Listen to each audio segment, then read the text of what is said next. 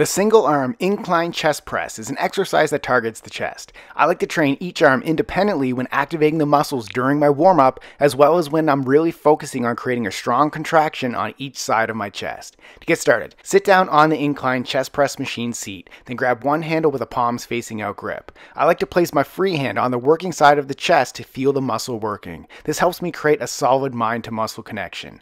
Contract your chest by pushing your hand against the handle and extending your arm up. Under under control, slowly lower the weight by bending your elbow without allowing the weight to rest. Repeat all the reps on one arm, then switch sides and repeat. Subscribe to get a new exercise video every day.